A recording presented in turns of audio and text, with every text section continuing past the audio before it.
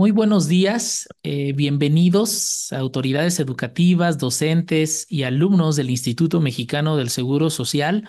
A nombre de la Coordinación de Educación en Salud, la División de eh, Formación de Recursos Humanos para la Salud y el área de calidad educativa, les damos una cordial bienvenida para poder degustar del conversatorio de mayo del 2024 titulado Los Pasos para Solucionar Problemas. Como bien saben, eh, la solución de problemas es un tópico eh, muy citado en la bibliografía a nivel mundial, es un tópico eh, muy analizado inclusive desde perspectivas filosóficas, porque es una competencia genérica que cualquier docente y alumno debiese tener. En un mundo en donde existe una alta conectividad, existen grandes cambios migratorios e inclusive existen ya grandes revoluciones cognitivas, la solución de problemas cada vez es más compleja. Decía Albert Einstein en, un foro que tuvo en el siglo anterior con Bohr, ambos eh, famosos científicos eh, del siglo anterior, que la única manera de resolver problemas complejos es precisamente cambiando el contexto del abordaje de los problemas para analizarlos desde diferentes perspectivas.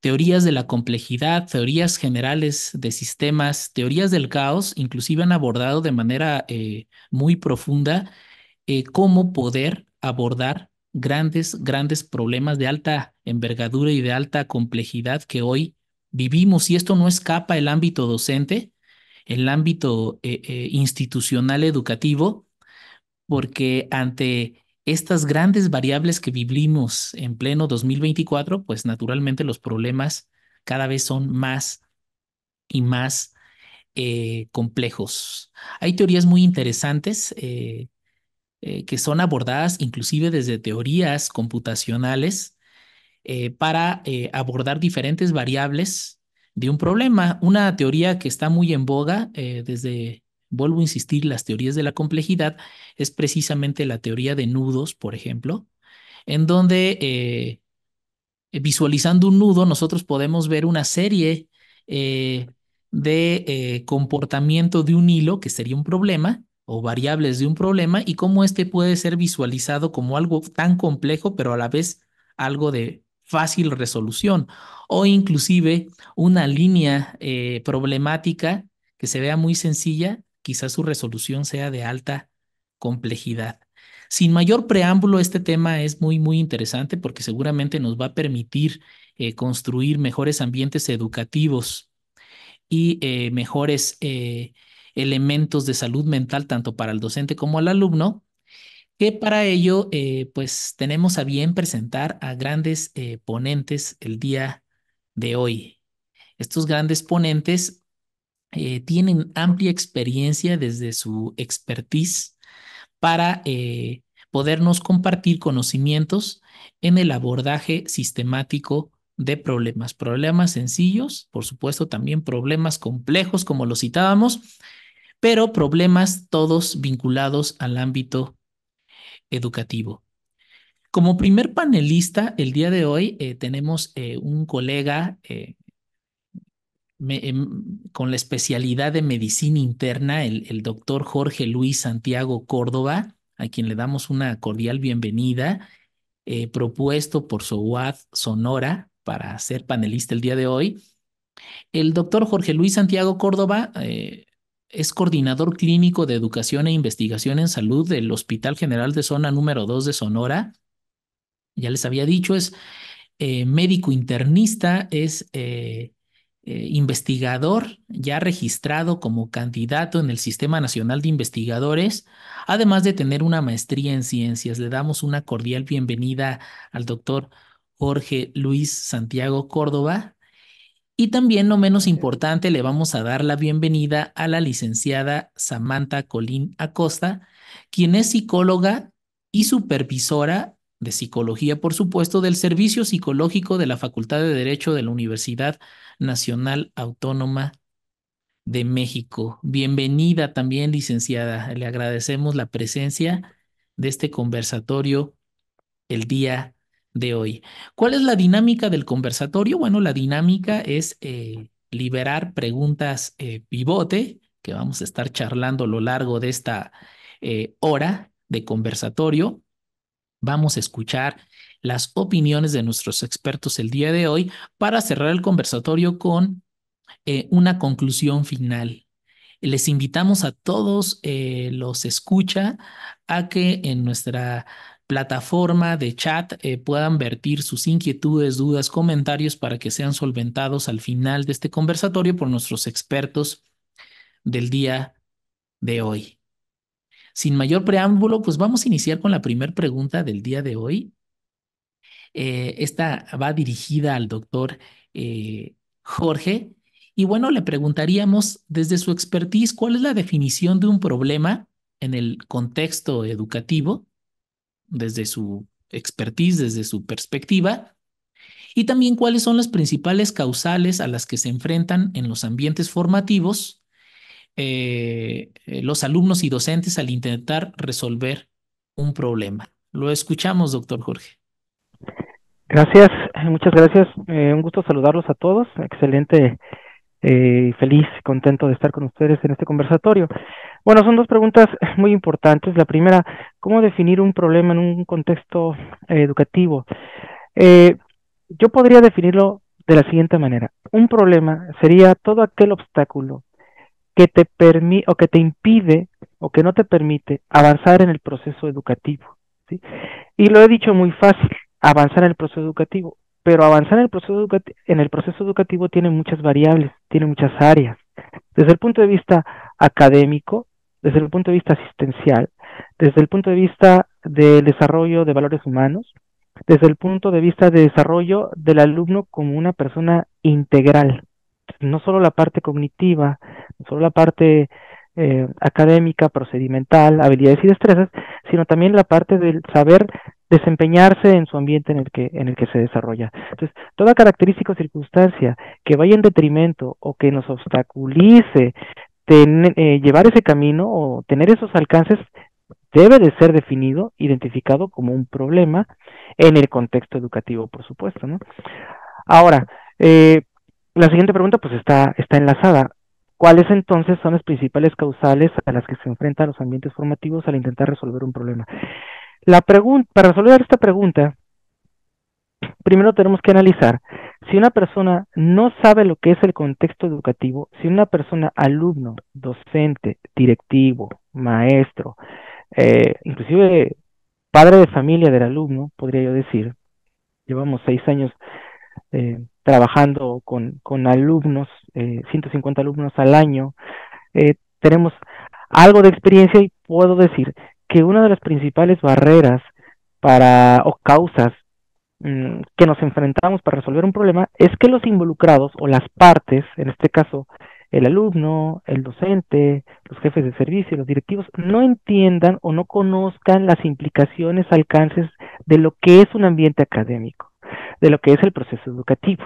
¿sí? Es decir, eh, ya no solo es que el, alumno, el docente habla y el alumno escucha, el ambiente académico va desde las instalaciones del lugar de trabajo, del lugar de estudio, las herramientas, las plataformas con las que se cuentan, las tecnologías de la información comunicativa, el trato amable, cordial, respetuoso de alumno, docente, docente, alumno, entre los alumnos, ¿sí? Las estrategias de enseñanza-aprendizaje, cuáles son los objetivos o los alcances cuando se inicia un programa académico, llámese internado médico, llámese curso de especialización, eh, llámese programa de servicio social, eh, y cuáles son los factores que intervienen o las variables que intervienen en el éxito o en el, en el fracaso del proceso educativo. Eh, al final, la preparación de un alumno de una carrera afín a la salud es que tenga un impacto positivo en, en su desarrollo integral, pero en la atención hacia el paciente. Entonces, si el docente, el alumno, el directivo no conoce todo lo que implica un proceso educativo o todo lo que implica un ambiente académico, si no sabe su definición y sus alcances, pues probablemente no, no, no tenga un buen augurio al momento de resolver problemas porque no sabe a qué se enfrenta. ¿Sí? Tal vez el docente de eh, el clásico docente que solo sabía a manera de conductismo que el, el, docente habla, el alumno escucha y, y, se acabaron los derechos del alumno y después lo evalúo en un, en un papel con preguntas de opción múltiple y se acabó. Entonces, si yo tengo esa visión, pues por supuesto que no puedo resolver el problema cuando nos enfrentamos a uno de estos, ¿no? Un problema que afecta al alumno, que afecta o contamina el ambiente académico. Entonces, si no conocemos toda esta esfera de, ambiente académico, es una de las principales causas, si no es que la más importante, de eh, la generación de problemas. Sí, muchísimas gracias, doctor Jorge, y coincido eh, totalmente con usted y seguramente los escuchas. Eh, esta visión sistémica de ver eh, todo el bosque y no nada más el árbol, esta visión periférica 360 para eh, el abordaje de un problema y por supuesto el análisis de un contexto sistémico integral de las múltiples variables que influyen para que se detone un problema son eh, los elementos eh, circunstanciales que usted muy bien citó y que lo pone en, en, en la mesa, lo pone en el Zoom como punto de discusión más adelante. Muchísimas gracias, doctor Jorge. Vamos a continuar con la licenciada en psicología, Samantha, eh, a quien también le vamos a hacer el mismo cuestionamiento, cómo definiría eh, desde su perspectiva eh, un problema. Y también le vamos a, cuestionar cómo podríamos nosotros identificar la causa raíz de un problema de manera efectiva. Bienvenida, psicóloga Samantha, y, y, la escuchamos. Muchísimas gracias. De igual manera es un gusto estar aquí con ustedes. Gracias pues por la cálida bienvenida y bueno, pues justamente me parece pues muy importante también regresar que en efecto, ¿no? Coincido con lo que iban platicando. Eh, un, eh, justamente una, un problema es aquel obstáculo, ¿no? Al que nos podemos encontrar, aquella dificultad, barrera, podríamos incluso mencionarlo, eh, para justamente afrontar una situación, ¿no? Que como bien mencionaban, tiene incluso repercusiones en los ámbitos donde nos encontramos. Por eso me parece tan valioso el poder regresar a esto que nos decía, ¿no? Como cuál es la raíz de un problema, ¿no? Porque pues entendemos como, bueno, es, el obstáculo, es la barrera, es la dificultad para llegar a un algo, ¿no? Pero pues bueno, ¿cómo identificar esta raíz? Pues para ello es tan importante identificar qué es lo que ocasionó, ¿no? El problema, ¿no? ¿Qué, ¿Cuáles están siendo las causas, consecuencias que estamos atravesando? Eh, que bueno, se puede ver, ya lo mencionaba el doctor, ¿no? Pues se puede ver desde el trato con las personas que tenemos a, a nuestro lado, ¿no? Que puede ser pacientes, ¿no? Desde los eh, justamente que van al hospital, desde nosotros, por ejemplo, como psicólogos también, con las personas que podemos tratar, e incluso, ¿no? Nos lo dice Neso, Neso y Surila, ¿no? Que justamente un problema es aquel obstáculo donde la persona no tiene acceso inmediato a una solución. Por lo cual, eh, incluso preguntas claves a las que podemos llegar para identificar la raíz es, pues, bueno, el cuestionarnos como, ¿por qué? ¿No? O sea, como, ¿por qué? Voy a poner un ejemplo, ¿no? Si nosotros tenemos un dolor de cabeza en este momento y de repente es tan latente ese dolor de cabeza, pues posiblemente lo que vamos a hacer es ir al médico, ¿no? Es ir al médico para poder identificar, pues, qué es lo que está pasando, es decir, encontrar la raíz de por qué estamos teniendo estas consecuencias. Eh, e incluso, ¿no? Tal vez de manera individual vamos a empezar un poco con este cuestionamiento como de, ¿por qué tengo tanto dolor de cabeza? Y tal vez la respuesta a la que vamos a llegar es, pues porque tal vez este, estoy forzando la vista, ¿no? Cuando enfoco algo. ¿Y por qué estoy forzando la vista? Vuelvo como a esta pregunta, ¿no? Pues tal vez porque tuve una caída importante y donde, pues, vaya, me pegué en la cabeza y pues me dolió al momento, ¿no? ¿Y por qué? ¿No? ¿Por qué pasó esto? ¿No? O sea, incluso es hasta curioso, oye, ¿hasta qué momento llegamos al por qué? Pues justamente voy hacia ello porque tal vez me di cuenta que no traía un casco, ¿no? O sea, pensando que estoy en un equipo deportivo. Y bueno, vuelvo a la pregunta, ¿por qué no traía un casco? Pues tal vez, ¿por qué? Porque en el equipo no hay los suficientes cascos para que a todos nos solventen, ¿no? Entonces podemos encontrar ahí, pues, la raíz, ¿no? Del problema. ¿Cuál fue la consecuencia? Que tuve, eh, pues, no pude, eh, bueno, tuve una caída importante, tuve un dolor de cabeza y entonces encontré la raíz, ¿cómo? Pues a través de que no hay suficientes cascos para el equipo. Y entonces, a partir de allí, yo necesito generar, pues, ¿qué? Una serie de eh, pues alternativas para vencer ese obstáculo que me está impidiendo llegar a que pues no me vuelva a suceder pues una caída como la que acabo de pasar, ¿no? Inclusive puedo pensar en otro ejemplo, tal vez más desde estos ámbitos eh, en los que nos podemos encontrar, como por ejemplo tal vez llegar tarde alguna clase dentro del hospital, ¿no? Donde pues tal vez este, tuvimos incluso una llamada de atención y donde nos pueden decir como, oye, o sea, bueno, esta llamada y entonces es como cuestionarnos, a ver, ¿por qué llegué tarde? Pues tal vez porque me dormí eh, más demorado de lo que usualmente lo hago. ¿Por qué me dormí más demorado otra vez? Pues tal vez porque dediqué tiempo a redes sociales. ¿Por qué dediqué tiempo a redes sociales? Porque no estoy gestionando mi tiempo, porque siento que pues tal vez ahí tengo justo un área de oportunidad. Ahí está la raíz, ¿no? O sea, la raíz del problema es que estoy teniendo una dificultad para gestionar mis tiempos y está repercutiendo, como ya lo platicaban, en el contexto y también en esta parte eh, pues de aprendizaje individual, ¿no? Entonces, me parece, pues regresando, que para resumir, pues en definitiva es importante identificar, pues de dónde es que viene el problema qué es lo que está, qué está causando, qué consecuencias está teniendo y que una pregunta clave puede ser el por qué para llegar a ello. Es algo sería de momento. Muchísimas gracias, eh, eh, licenciada eh, Samantha.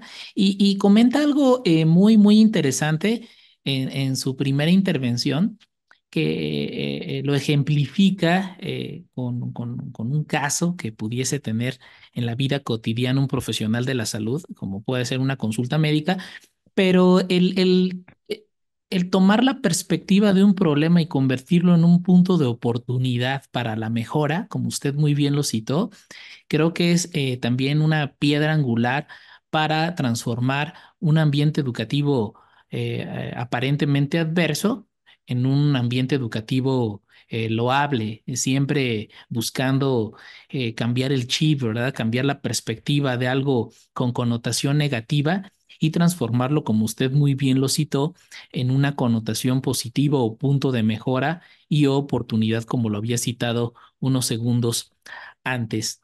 Vamos a darle nuevamente el micrófono al doctor Jorge eh, preguntándole eh, las siguientes eh, interrogantes.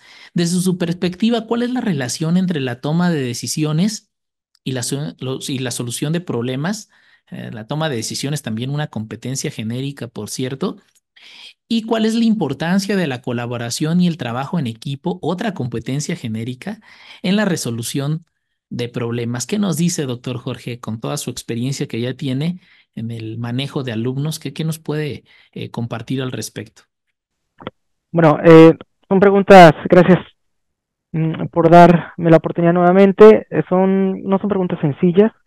la primera, es importante tomar decisiones, pero tomar decisiones de manera oportuna, de manera eficaz y de manera asertiva, ¿no? Sobre todo si estamos con el objetivo de solucionar un problema porque a veces eh, una decisión no apropiada o no prudente, ¿sí? Eh, puede tener como consecuencia un nuevo problema o pueden, en el intento de resolver un problema, una decisión inapropiada puede agravar o acrecentar un problema, ¿no? Y esto tiene que ver un poco con, con lo que, con el trabajo colaborativo, ¿sí? Y en ese sentido, o en ese contexto, desde el punto de vista, pues a lo mejor eh, directivo, gerencial, pues para nadie es un secreto que para el desarrollo de una organización o para el alcance de los objetivos de una organización, el trabajo colaborativo, el trabajo en equipo, pues es fundamental, es eh, elemental. Eh, sin embargo, si nosotros nos proponemos, nosotros tres ahorita nos, nos organizamos y decimos, oye, vamos a hacer esto, tú participas acá, tú participas allá, pero, pero no nos organizamos bien, no nos preparamos bien, y yo quiero interrumpir y luego la licenciada también quiere hablar y luego usted y, al mismo tiempo todos y entonces no estamos colaborando y lejos de alcanzar los objetivos pues podemos generar eh, mayores problemas ¿no? entonces en ese sentido yo creo que para el alcance de los objetivos que sería solucionar problemas, el trabajo en equipo, el trabajo colaborativo es importante, pero sobre todo el trabajo colaborativo organizado y asertivo. Y cuando yo digo asertivo, quiero atender a su definición elemental, a, su definición simple. ¿no?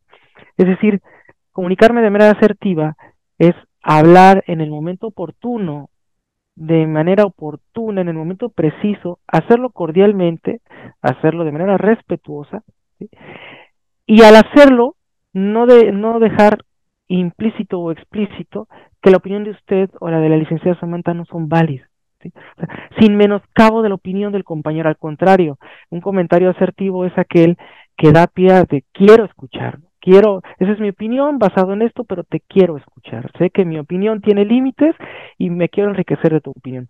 Pues eso trasladado en una organización, en un ambiente educativo, se dice fácil, pero es muy complejo. Un ejemplo, eh, la guardia, la práctica clínica complementaria o guardia en un curso de internado médico o en un curso de especialización. Se quedan de guardia X número de residentes, X número de médicos internos y se tienen que organizar para sacar adelante las actividades académicas existenciales de un área del hospital. Entre ingresos, curaciones, entrar a quirófano, eh, preparar la clase, etcétera, etcétera, tiene que haber este grado de organización, este grado de comunicación asertivo en donde se emiten las acciones, los comentarios en el momento oportuno, en el momento preciso, de manera respetuosa, de manera cordial y eh, dejando claro que te quiero escuchar, dejando claro que no soy dueño de la verdad y que necesito retroalimentarme de tu opinión. Como el nivel de las competencias, ¿no? El saber es importante, el conocimiento, por supuesto, el saber hacer, habilidades y destrezas, por supuesto, pero después sigue el saber estar. Yo puedo saber mucho, puedo ser un buen cirujano, pero si no sé trabajar en equipo, si no sé convivir con mi enfermera de quirófano, con mi asistente, con el anestesiólogo, con el circulante, entonces aumenta el riesgo de que el éxito no se obtenga.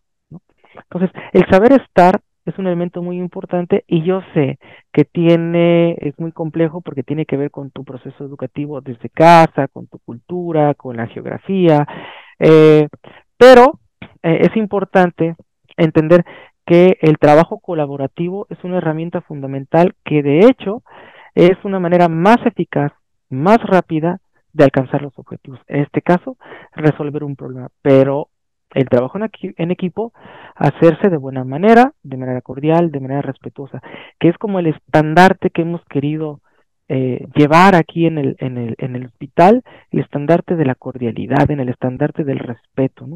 Al final, el alumno y el docente tiene tiempo para prepararse, para estudiar, para capacitarse, pero el respeto, la cordialidad, la tolerancia, el querer escucharte, debe ser una situación sine qua non, debe ser una constante en el proceso educativo. Y creo que si logramos juntar esas partes, eh, podemos tener un ambiente académico favorable, ¿no? de acuerdo, doctor Jorge. Eh, elementos eh, clave citados en su intervención, toma de decisiones soportadas a través de mecanismos comunicacionales asertivos, afectivos y efectivos, así como toma de decisiones también sustentadas en evidencia, son parte de la fórmula para solucionar problemas sencillos o, complejos. Y también lo que muy bien citaba, haciendo una muy buena analogía con inclusive conceptos eh, gerenciales, eh, la gran diferencia, como lo citaba, de eh, un grupo de individuos contra un grupo de personas contra un equipo y, ¿por qué no?, en mecanismos más avanzados con esbozos comunicacionales de alto nivel, como serían los equipos de alto desempeño, que también eh, evidentemente han sido probados en el Instituto Mexicano del Seguro Social y que eh, cumplen con estas competencias blandas que usted muy bien citaba. Eh, trabajo en equipo, comunicación, toma de decisiones como muy bien usted eh, lo citó. Muchísimas gracias, doctor Jorge, por esta intervención. Y bueno, vamos a continuar nuevamente con eh, la licenciada en psicología, eh, Samantha de la Universidad Nacional Autónoma de México para que también nos pueda compartir desde su expertise cuál es la relación existente entre toma de decisiones y solución de problemas y por supuesto también nos pueda eh, compartir algunas técnicas, algunas estrategias eh, que, por ejemplo, se utilicen en el ámbito de psicología o en su contexto eh, universitario para abordar problemas complejos. Le damos el micrófono, licenciada Samantha, y pues adelante. Muchísimas gracias. Sí, me quedaba pensando un poco mientras iba escuchando que en definitiva tomamos decisiones todo el tiempo, ¿no? O sea, lo podemos ver desde vaya, ¿no? Como desde que empezamos el día, desde me quedo más tiempo dormido, me despierto ya de una vez, ¿no?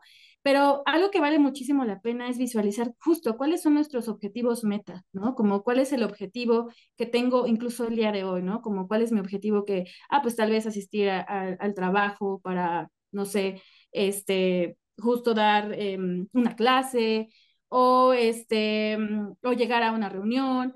Y entonces nos podemos dar cuenta que sí, en definitiva todo el tiempo tomamos decisiones y a través de la toma de decisiones habrán algunas, y ya lo bien lo decía también el doctor, que tendrán consecuencias pues más, pues sí, positivas o agradables y algunas que tendrán consecuencias menos agradables. E incluso a través de esta toma de decisiones, ¿no? Nos vamos encontrando con que posiblemente vamos venciendo los obstáculos que se van manifestando.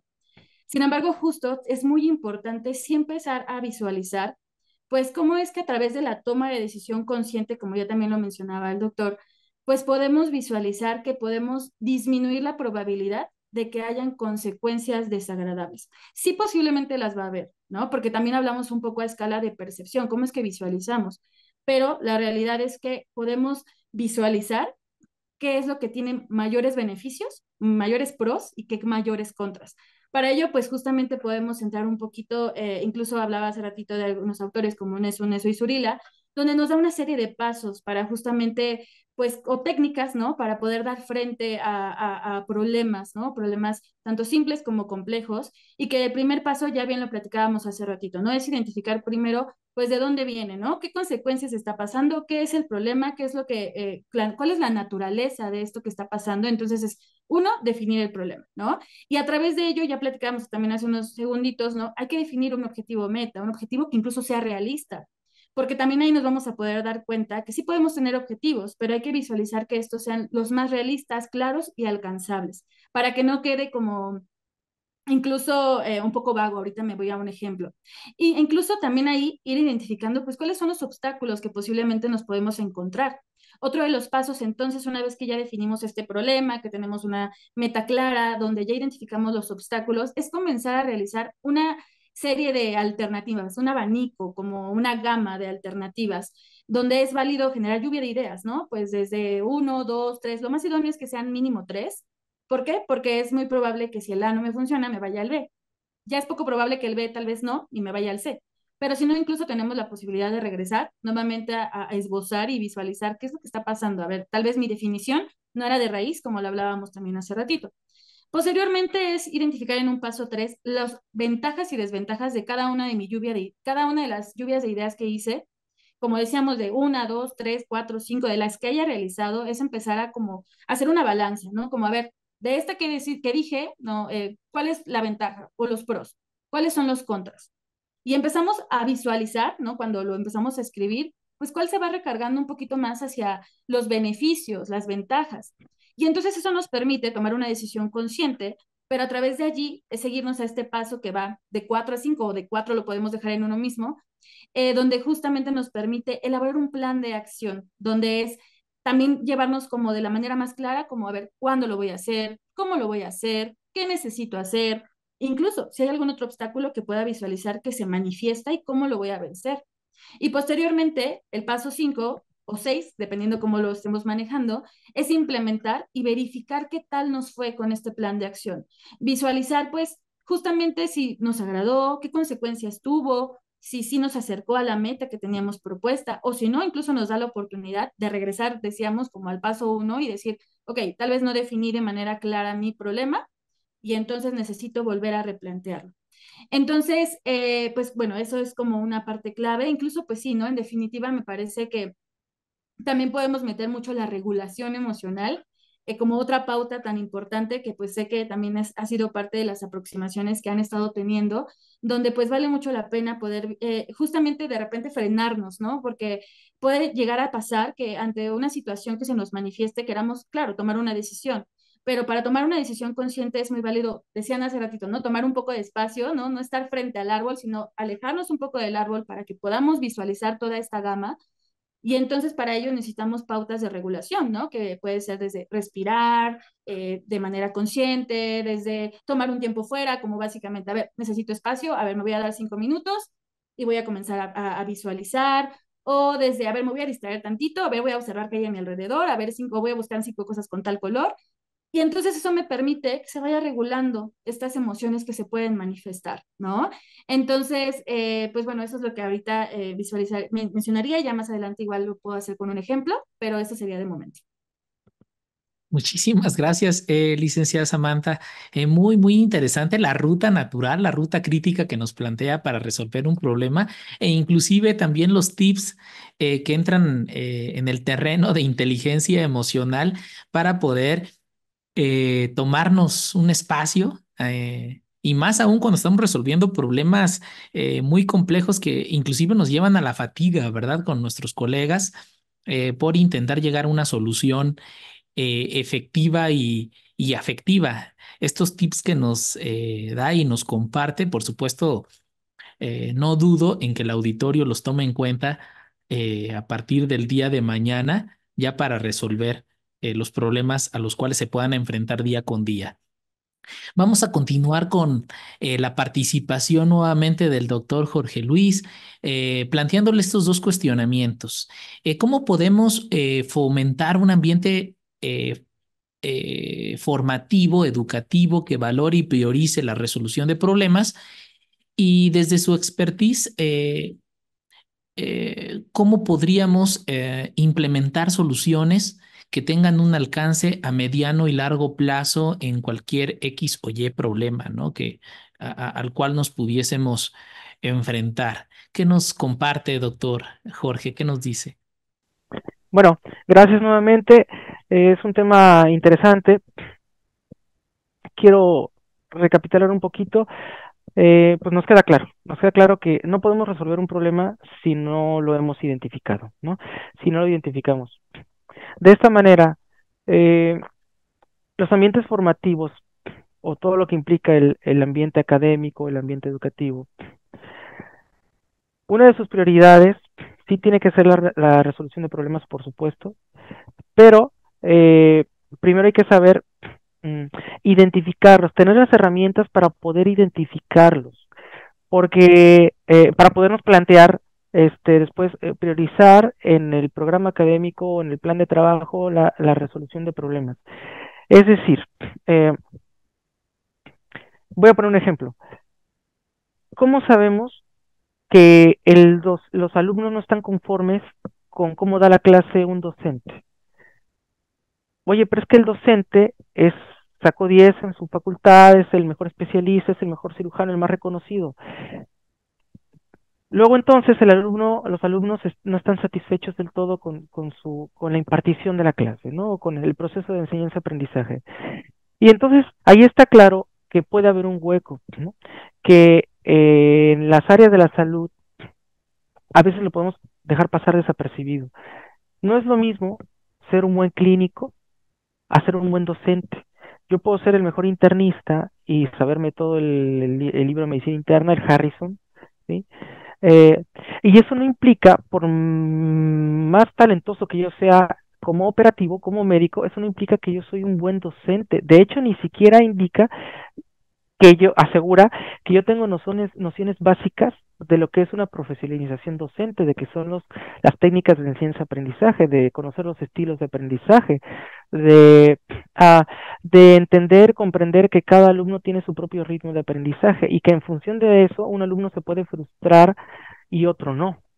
Entonces, eh, en nuestra área siempre hemos tratado, o hemos tratado, de que nuestros docentes estén muy atentos a las necesidades del alumno.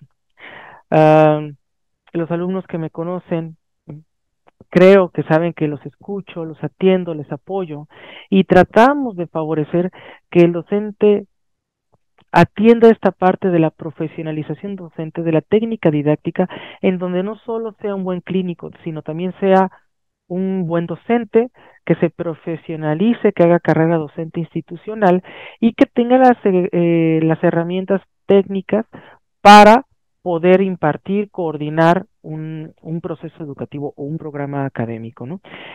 Con la aspiración y el objetivo final del constructivismo. O sea, aquel escenario, aquel escenario en donde el alumno es el que va en búsqueda y construcción de su aprendizaje significativo, y en donde nosotros, eh, pues no es que estemos tras bambalinas, pero somos más bien el facilitador de ese aprendizaje, otorgamos esas plataformas para que el alumno desarrolle y construya su proceso de aprendizaje significativo. ¿no?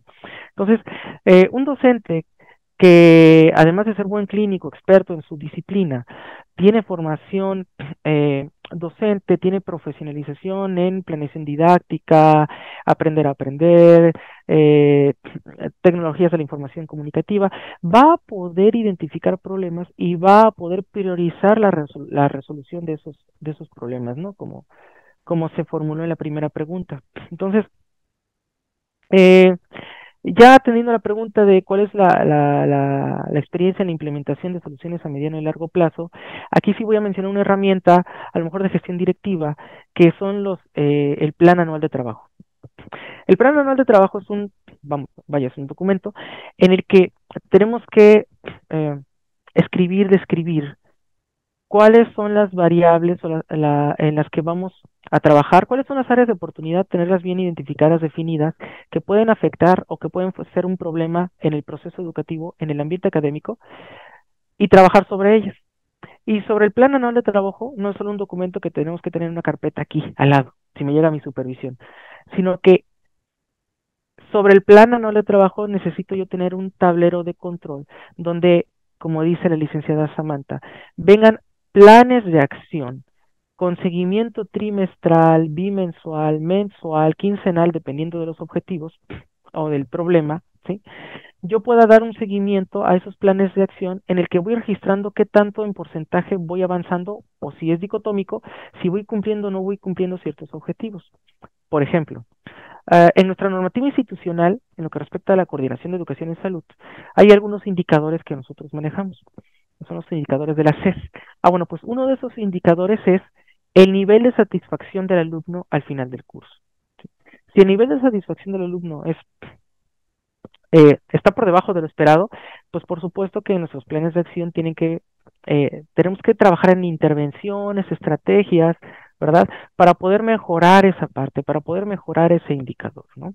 Eh, otro puede ser lo que acabo de decir, ¿no?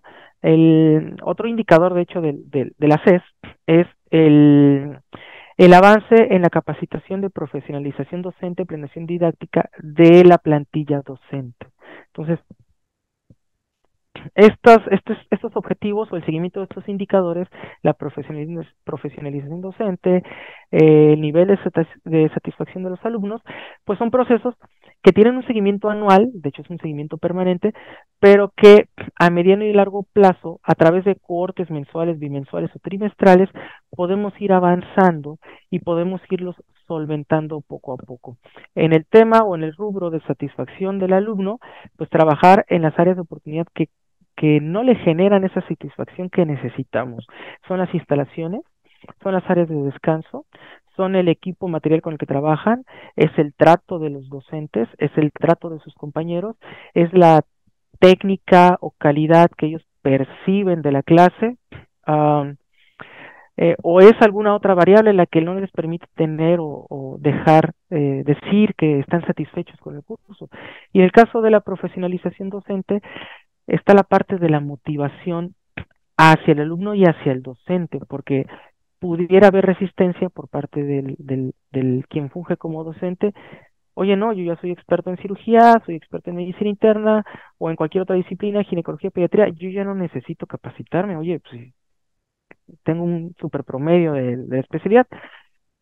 Entonces, es tocar esa tecla exacta esa motivación en el docente y hacerle ver que es necesario que adicional a ser experto en su parte técnica, en su disciplina, de hecho, yo me atrevería a decir que es todavía más importante el ir capacitándose en eh, el, el, proceso técnico de enseñanza-aprendizaje, la profesionalización docente, lo pongo un peldaño todavía superior al ser solo dominador de su disciplina, ¿no? Como la frase, el mejor docente no es aquel que sabe más, sino el que hace que el alumno aprenda más. Eh, el docente que enseña al alumno para que en un examen saque 10, está bien. El docente que muestra al alumno, muestra al alumno para que el, alumno lo pueda hacer, está bien, pero eh, hay un factor más importante que lo cognitivo, lo procedimental, lo motivacional. Aquel docente que motiva al alumno para que salga adelante, ¿sí? es capaz o tiene mayor probabilidad de resolver sus problemas dentro de su proceso educativo, es un alumno que va a tener mayor probabilidad de salir adelante si su docente ya lo está motivando, además de la simple transferencia de, conocimiento. ¿no? Entonces, eh, este intento de, implementar a través de planes de acción a mediano y largo plazo la, eh, problemas que se van registrando son ya parte de nuestro trabajo, ¿no? Parte del trabajo que hacemos y que intentamos compartir con, con, nuestra plantilla docente. Muchísimas gracias, doctor Jorge. Eh, gran, gran eh, respuesta a estas dos inquietudes. Prácticamente eh, aborda y pone el dedo en el renglón de la importancia de la profesionalización docente.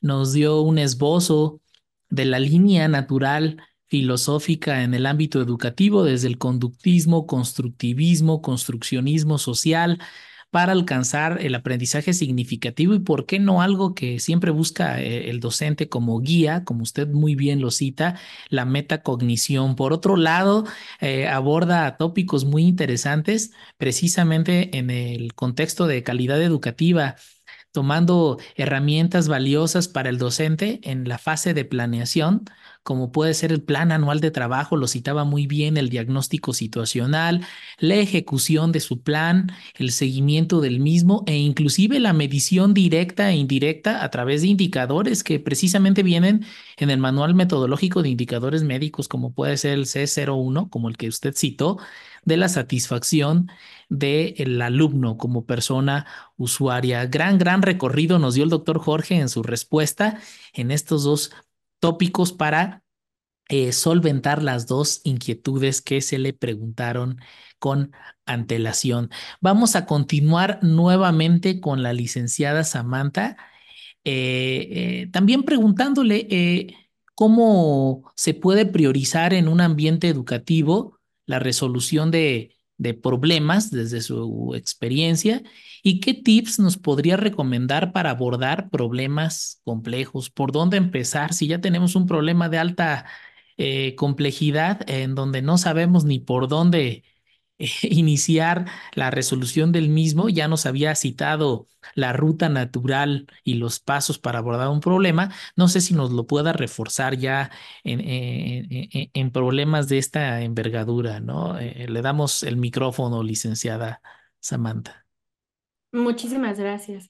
Sí, de igual manera, eh, nosotros en el servicio específicamente lo que llegamos a realizar son formularios, ¿no? Donde pues justamente lo que buscamos es conocer cómo se sienten con la supervisión, ¿no? Eh, vamos a pensar como con el supervisor responsable, tanto cómo se sienten en el ambiente, entre los compañeros, tanto cómo se sienten a nivel, pues, con los casos o con las cuestiones comunitarias que realizan, para poder justamente a través de ello identificar obstáculos, nuevamente como lo decíamos en esta línea natural, eh, identificar los obstáculos, generar alternativas de solución, las cuales pues buscamos que se construyan en conjunto, es decir, pues no nada más uno como responsable, sino también ellos como personas que están aprendiendo, personas en formación, que nos busquen generar estas alternativas y entonces a través de ello visualizar qué planes de acción pues pueden este, justamente colocarse sobre la mesa para incluso tratar de cubrir las necesidades de cada uno de los estudiantes, porque escuchaba pues sí, ¿no? Como al doctor que de repente justo puede pasar que pues podamos hacer de cierta manera, una, voy a poner em, una conducta que para uno sea adecuada, pero para otro estudiante ya no le parezca tan conveniente, tan prudente, porque justo tiene mucho que ver con su sistema de aprendizaje, con la forma en que visualiza ¿no? el mundo, tal vez, em, pues claro, ¿no? Como, eh, como, como ha aprendiendo. Entonces, ahí es buscar como de qué forma podemos tratar de cubrir como todas las necesidades, en mayoría, pero también, claro, por eso es tan importante que uno individual pues vaya adquiriendo estas habilidades de cómo dar solución. ¿Para qué? Para que entonces pues también incluso uno como profesional responsable, pues puede hacer como más llevadero estos procesos, me parece por eso tan conveniente. Y entonces, bueno, regresando un poco como a, qué tips recomendaría, ¿no? Para abordar problemas complejos, ya hablábamos hace rato de esta ruta, y si bien la vamos a retomar, voy a meter como algunos eslabones antes, donde pues justo es muy importante identificar estos hechos con los que contamos, ¿no? Eh, ¿Qué quiere decir? Identificar qué es lo que está sucediendo, vuelve a esta línea, ¿no? Como lo decíamos, bueno, ¿cuál es el problema? ¿Qué es lo que está pasando? Ah, es importante que ante cualquier situación que nos genere malestar, se conozca esta información con la que contamos, ¿no? Como, eh, porque si no, si no nos damos esa oportunidad de, conocer qué es lo que pasa, como por ejemplo a través de todas estas evaluaciones que escuchaba que se realizan desde cada uno de los ámbitos, no podemos identificar cuál es la raíz, ¿no? De este problema. Posteriormente, para ello también podemos tener una serie de preguntas que podemos utilizar tanto de manera individual, tanto en estos ámbitos eh, con grupos, donde podamos saber, pues bueno, a ver qué sucedió, retomamos, ¿no? Eh, ¿Qué es lo que me molestó o qué es lo que está causando malestar en este contexto, en esta situación?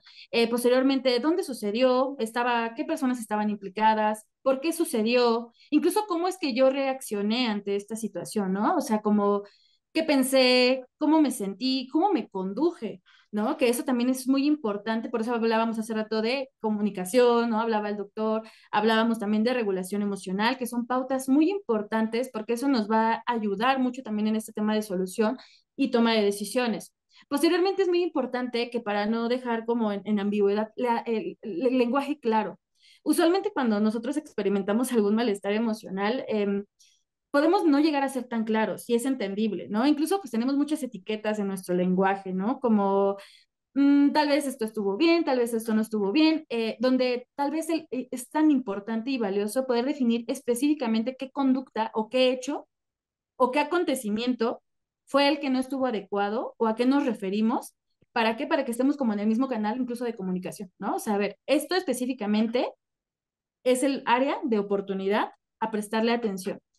Eh, también es justamente importante otro de los pasos, diferenciar justo entre estos hechos y suposiciones. Podemos llegar a tener suposiciones, es decir, una serie de pensamientos, de creencias, que en definitiva, pues eh, al tener una serie de de creencias, pues se llegan a volver tan reales para nosotros que no nos damos tal vez la oportunidad de diferenciar entre qué es verdad, qué es lo que está pasando, con evidencia, ¿no? Como que podríamos decir, a ver, que realmente yo tenga prueba que evidencie que esto pasó, que esto está sucediendo, que esto está aconteciendo. Para eso tan valioso, pues estas pruebas o estas evaluaciones de, satisfacción. Posteriormente, eh, ahí nos volvemos a meter en esta línea natural, ¿no? Donde hay que eh, establecer objetivos realistas, hay que establecer qué es a donde queremos llegar. Eh, y justamente identificar estos obstáculos a los que nos podemos encontrar. Hace ratito decía, bueno, puedo meter un ejemplo, voy a meter ahorita una línea de un ejemplo de una, un paciente, ¿no? Llega un paciente eh, donde nos dice, bueno, me acaban de dar un diagnóstico de salud, este, de diabetes tipo 2, y este, empiezan a hacer como esta indagatoria, ¿no? De, pues bueno, que cómo son sus hábitos y tal vez al encontrarse con estos hábitos habla como, pues bueno, ¿no? Mi consumo es elevado tal vez en carbohidratos, en azúcares, este, no tengo tiempo para hacer ejercicio, no tengo tiempo tal vez para este, ir a los monitoreos incluso constantes. Ahí desde ahí, ya estamos, desde ahí ya estamos describiendo qué es lo que está pasando y podemos identificar los obstáculos, como es el consumo de carbohidratos, o sea, como tal vez el nulo consumo o moderado consumo de carbohidratos y azúcares, así como el poder hacer ejercicio. Entonces, a través de allí es identificar cuáles son los objetivos que tal vez tiene la persona o incluso también como profesional de salud que puedo generar en conjunto con mi paciente, que en este caso sería, ah, bueno, ¿no? Tal vez pues visualizando, ¿no? Todas las repercusiones o consecuencias que trae pues justamente la diabetes tipo 2, que son tales, pues bueno, ¿no? Es importante pues que como objetivo pues se disminuya el consumo de azúcares y carbohidratos, que hagas actividad física, que vayas, que vayas a monitoreos, ¿no? Y, y, nuevamente, bueno, ¿cuáles son los obstáculos? Pues que tal vez no hay como un tiempo porque pues en el trabajo este, sus jornadas son muy extensas, que tal vez no sabe qué prepararse de comer, que tal vez este, cuando tiene tiempo libre lo quiere dedicar a ver ciertas series o no sé, ¿no? Y posterior de ello es generar alternativas. Bueno, ¿cómo puedes vencer estos obstáculos de los que me estás platicando? Ah, pues bueno, ¿no? Este, propongo que tal vez pueda platicar con mi pareja, con eh, mis hijos, de este, ciertos planes nutricionales que me puedan brindar y este, pues esa sería una. Otra es que busque en internet recetas. Otra es que me haga un licuado en la mañana. Entonces, a partir de ahí volvemos a hacer este análisis, ¿no? De ventajas, desventajas. Y a partir de ahí visualizamos que tal vez hay una, de las alternativas que para la persona, en este caso para el paciente, es más realista, y entonces se pone a, eh, eh, como en, en, boca esta planeación de la que platicamos, qué, cómo, dónde, cuándo, y entonces posteriormente ahora sí ya se busca evaluar la satisfacción con esta situación. Y eso mismo aplica para todos los ambientes, o sea, retomamos, ¿no? Tanto ambientes formativos como tanto para ambientes con donde atendemos a algún paciente y que retomamos, es tan valioso el tener también estas pautas básicas de comunicación que ya hace rato platicaban, de regulación emocional, porque todas ellas nos van a conducir a una toma de decisión eh, la más adecuada, la más conveniente, pero que sí, si bien puede ser en conjunto, también puede ser desde lo individual. Entonces, eso sería de momento. Sí, muchísimas gracias, licenciada Samantha. Eh, pues excelentes aportaciones, ¿no? Nos dio varias rutas de análisis de pros, contras, de opciones e inclusive la gran importancia que tiene el ver siempre un problema desde el marco de la objetividad. Eh, muchas veces nosotros magnimizamos o inclusive podemos minimizar el problema desde nuestra perspectiva, pero el tener varias aristas eh, desde el marco de la objetividad, pues es un punto muy loable para docente y alumno, como muy bien usted lo citó. Pues eh, estamos llegando ya a la recta final del conversatorio del mes de mayo de 2024. Agradecer infinitamente al doctor Jorge Luis Santiago Córdoba, coordinador clínico de educación e investigación en salud del Hospital General de Zona número 2 de Sonora, eh, pues invitándole a que nos diga sus reflexiones finales, su conclusión final, algunas acotaciones que quiera resaltar al término de este conversatorio para todos los escuchas, para todos los docentes, alumnos del país. Eh, ¿Qué nos dice ya como reflexión final, doctor Jorge? Gracias. Sí, eh, eh, claro que sí. Em, yo quisiera comentar, me gustaría comentar que hoy estamos hablando de solución de problemas, cómo solucionar problemas, cómo identificarlos, em, en mejora de un ambiente educativo, de un ambiente académico, en el entendido que la mejora del ambiente académico pues te aumenta la probabilidad de, de tener una buena salud mental ¿no? en el alumno. Hoy en día eh, algunos lo viven más directamente que otras personas, yo lo vivo directamente, actualmente tengo 140, 150 alumnos y es cada año. Eh, el problema de la salud mental es un problema serio, es un problema importante, hay que atenderlo. Y eh, los ambientes académicos es un factor muy importante, tal vez el más importante en este tema, ¿sí? Porque el alumno de una carrera fina a la salud, llámese médico, enfermería, fisioterapia, psicología, es un estrés tal vez diferente. le genera al alumno o le puede generar al alumno un estrés diferente, porque no es lo mismo a lo mejor estudiar arquitectura o, filosofía y letras, eh, sin denostar, por supuesto. Me refiero a el nivel de estrés tal vez no sea el mismo por el contexto, porque a quien estás atendiendo en una carrera fina a la salud es un paciente, es otro ser humano. Entonces, las implicaciones de esto cobran mayor relevancia y el nivel de estrés puede escalar. Entonces, si un alumno de repente ya tenía a lo mejor alguna situación de base, algún trastorno emocional de base, eh, en, una situación de estrés física y emocional como lo implica una carrera afín a la salud, pues se pueden potenciar, se pueden agravar, se pueden agudizar. Y si no tenemos las herramientas para identificarlas y atenderlas, luego va a ser un problema severo con consecuencias muy desagradables. Entonces, eh, sí hay que resolver problemas, hay que identificarlos. Y yo creo que a la pregunta de, de cómo hacerlo, cómo resolver el problema, cómo identificarlo, Tal vez la respuesta todavía es más sencilla, después de todo este análisis que hemos hecho, tal vez la respuesta es más sencilla que, que todo lo que hemos dicho, ¿no? Escuchar al alumno. Escuchar al alumno. Si nos metemos en nuestra computadora y es que mi autoridad me está pidiendo el correo y, y que el trabajo y que esto, y entonces mantenemos cerrar la puerta y, y el alumno, espérate, regresa mañana, regresa mañana, mañana platico contigo. Y vamos postergando, postergando, procrastinando el acceso a escuchar al alumno después se puede convertir en una bola de nieve. No, al alumno hay que escucharlo. Yo prefiero tener mis correos ahí haciéndome, bueno, no sé si mis jefes se enojen con este comentario, ¿no? Prefiero tener mis correos ahí esperándome, pero al alumno yo lo tengo que escuchar porque yo ya sé que puede salir un problema. Yo ya sé que esto me puede votar y hay que atenderlo, ¿no? Porque como a ellos les digo, y con esto quisiera cerrar, como a ellos les digo, si alguno de mis alumnos me está escuchando, mm, no me dejara mentir, les digo, nosotros estamos aquí inmersos en este proceso educativo con el principal objetivo de colaborar para que usted sea un excelente médico general, un excelente médico especialista de manera integral. Solo hay una cosa más importante que esa, solo una, su salud mental y física. Eso es más importante que inclusive el alcance de los objetivos académicos o educativos de su curso. No. Más importante todavía es la salud de los alumnos. Entonces, hay que escucharlos, hay que darnos ese tiempo. Sé que no lo, a veces no lo tenemos, pero hay que buscarlo, escucharlos y tratar de resolverlo, ¿no? Pedir apoyo, ¿no? Pedir apoyo con el área de psicología. Yo eh, les comparto, el área de psicología de aquí de la unidad nos ha apoyado muchísimo, el área de psiquiatría, yo no sé qué haría sin ellos, sin los profesionales. Eh, y bueno, nuevamente, el trabajo en equipo, ¿no? Entonces, escuchemos a los alumnos. Es el paso más importante en la resolución de problemas. Gracias. Muchísimas gracias, doctor Jorge. Eh, ahí nos, eh, eh, como tips, como reflexión final, el escucha de los alumnos, por supuesto, coincido totalmente.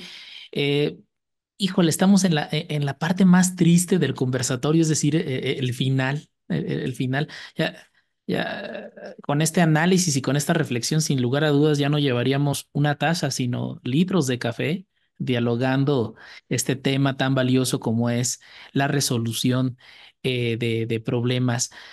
Licenciada Samantha Colín Acosta, muchísimas gracias, psicóloga del Servicio de Psicología y supervisora también de la Facultad de Derecho de la Universidad Nacional Autónoma de México. Muchísimas gracias y pues también le damos el micrófono para que nos diga sus reflexiones finales, eh, algunas acotaciones que quiera compartirnos para todos los escuchas del país.